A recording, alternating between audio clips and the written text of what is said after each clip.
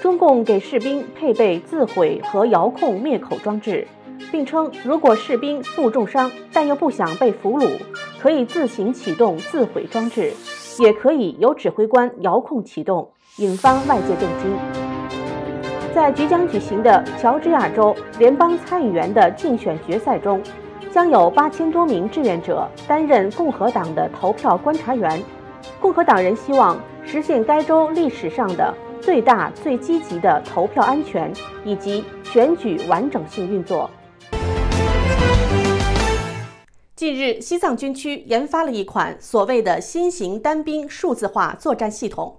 据悉，该系统中设有一个自毁的装置，并称如果士兵身负重伤但又不想被俘虏，可以自行启动自毁装置，也可以由指挥官遥控启动。引发了外界的震惊，有网友惊呼：“这不就是人肉炸弹吗？什么组织能把人变成机器，而且是炮灰机器？”我们来详细的了解一下。根据观察者网十二月二十七号报道，近日西藏军区为士兵装备了一款新型单兵数字化作战系统，范围包括特种部队、普通班组步兵、炮兵、陆航装甲兵等。据称。这套所谓的单兵数字化作战系统是在头盔上设置了一个卫星天线，并配属一个单筒夜视多功能目镜，手臂上还有一个数控终端。护具方面更是功能多样化，除了提供防弹保护外，还包括导航仪等设备。但是其中令人更为关注、震惊的是，这套系统设有自毁装置。报道称。如果士兵身负重伤，但又不想被俘虏，可以启动自毁装置。这样做既能维护军人的尊严，也可使敌方无法获得该套系统的任何信息。此外，若指挥官在屏幕上发现士兵与其他部队拉远了距离，但又无法联络到该名落单的士兵，那么指挥官也会远程遥控启动自毁装置，并且所有的单兵信息全在指挥官的屏幕上。报道还指出。该系统还能够一键引导炮击，如果敌军捡获，自毁装置就会爆炸。对此，网友怒斥：“这也太狠了！远离部队由指挥官引爆，这是典型的为以后作战搞的控制技术，怕士兵逃跑、装死、叛变，总之不肯做炮灰的士兵都得死。”此外，报道还宣称，按照军队现有的装备发展方向。很可能会首先动用特种部队渗透到敌军的后方，寻找敌军的高价值目标，然后呼唤炮兵群发起集袭。对此，网友表示：“这下中共把朝鲜战争的向我开炮用高科技实现了。至于渗透到敌军后方的炮灰的死活，根本就不在中共的考虑范围之内。对于中共视人命如草芥的行为。”有网友在网络发出了美国军人的投降书来做比较，表示美国大兵在出发前，美国政府给每一个美国军人准备了一个用十几种文字印制的投降书，背在身上。战场上一旦寡不敌众，为了保护军人的生命，军人可以举起出示这份投降书，请求按照国际惯例给予生命保护。网友表示，这才是以人为本的精神体现。珍惜生命，以人为本，尊重生命。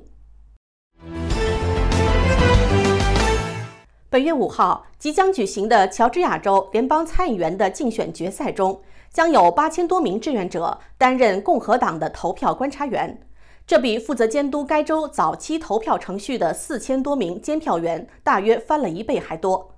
由此，共和党人希望实现该州历史上的最大、最积极的投票安全以及选举完整性运作。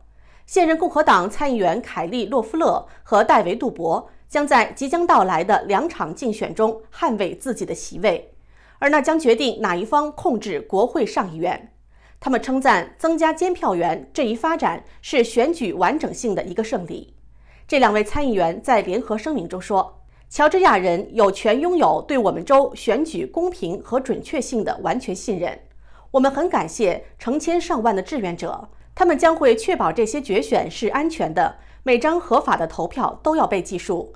乔治亚共和党人已经动员了本周历史上最大的地面行动和投票站监察行动，并充分准备确保下周选举的完整性，不会在怀疑的阴影下投票。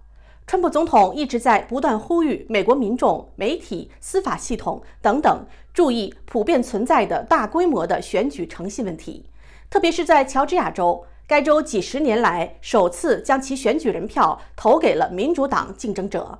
亚特兰大听证会披露，乔治亚州州长坎普不当处理川普总统法律团队要求重新计票的努力。之后，川普在本周三的一条推文中要求坎普辞职。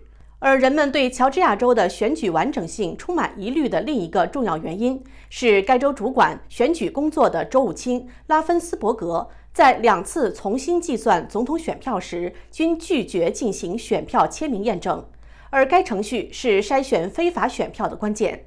然而，在乔治亚州认证了选举人票给拜登以后，拉芬斯伯格却宣布进行签名审核，并增加对选举完整性的信心。并表示，即使审核选票结果也会一样。在本周早些时候，拉芬斯伯格宣布，科布县的签名审核发现没有欺诈性的缺席选票，并说该县执行正确的签名验证程序的准确率达到了百分之九十九点九九。尽管对乔治亚州的一些民选官员感到愤怒，但川普总统对两位现任参议员表示了坚定的支持。他宣布，他将在本月四号前往该州举行集会，以支持两位共和党人。而第二天，选民将前往投票站选举联邦议员。那么好，以上就是今天带给大家的主要内容。感谢您的观看。如果大家喜欢我们的视频，请支持我们的 YouTube 频道。如果您喜欢我们的节目，请点赞、打开小铃铛。您的订阅和转发都是对我们最大的鼓励。谢谢大家，我是婉婷，我们下期再见。